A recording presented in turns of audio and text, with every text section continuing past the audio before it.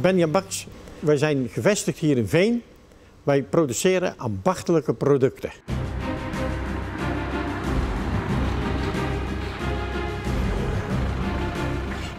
Ben ruim de 60 gepasseerd en mijn vraag aan de Kamer van Koophandel is: hoe vind ik een opvolger?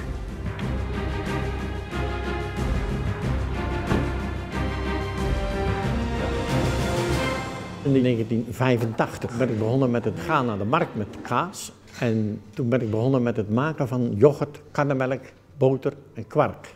Wij zijn dus door de concurrentie van, van karnemelk en superheffing zijn wij dus van Lieverlee overgestapt op wat exclusievere producten.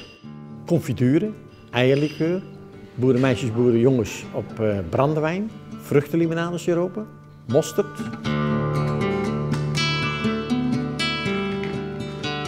Ambachtelijke producten moet ik maken, want als ik een massaproduct ga maken, zoals grotere bedrijven, internationale bedrijven, dan kan ik gewoon met de prijs niet mee. Dus, dus ik moet echt speculeren en, en toespitsen op de kwaliteit, op het eindproduct. In ons eindproduct, met name ook in de confituren, de hele vruchten proberen wij daarin terug te vinden. En dat geeft een stuk kwaliteit. Ruim 60 inderdaad. Dat gaat natuurlijk uh, toch een beetje spelen in mijn hoofd. Uh, wat gaat er gebeuren met het bedrijf? Uh, ik ben wel op zoek naar een, partner, een overname, die toch ook voelt wat voor emotie dat ik erbij heb zitten door de jaren heen.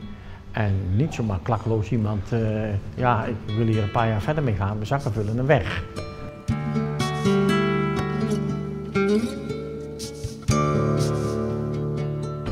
Meneer Baks, ik heb begrepen dat u op termijn uw bedrijf wilt gaan overdragen aan iemand anders. Er zijn verschillende mogelijkheden. Omdat er toch een stukje emotie en vertrouwdheid eh, in het spel is, zou ik u willen verzoeken om eerst in uw eigen kenniskring te gaan kijken, in uw eigen familie te gaan kijken of er iemand is die het bedrijf van u wilt overnemen. Mocht dat niet lukken, zou u kunnen kijken naar een klant, een toeleverancier, iemand met wie u de afgelopen jaren zaken heeft gedaan, zodat u weet aan wie u uw bedrijf over gaat doen. Mocht dat niet lukken, is er altijd nog een mogelijkheid om bijvoorbeeld via uw accountant iemand te zoeken, of bijvoorbeeld via uw brancheorganisatie, of via een website. Net zo goed als Funda.nl een website heeft waar je huizen kunt kopen en verkopen, zo zijn er ook sites waar mensen hun bedrijf te koop aanbieden. Oké, helder. Uh, maar er zit een, een bepaald traject aan. En dan is ook de vraag, wat is de waarde van het bedrijf? En daarnaast zitten nog veel meer aspecten aan.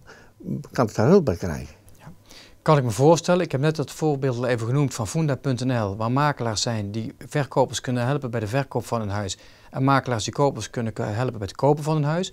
Zo heb je ook bedrijfsmakelaars die kunnen helpen als u een bedrijf te koop aanbiedt en wat er allemaal bij komt kijken. En dat begint dan bijvoorbeeld bij de waardebepaling tot uiteindelijk het tekenen van het verkoopcontract. Dus ook daar kunt u professionele hulp voor inschakelen als u dat zou willen. Oké.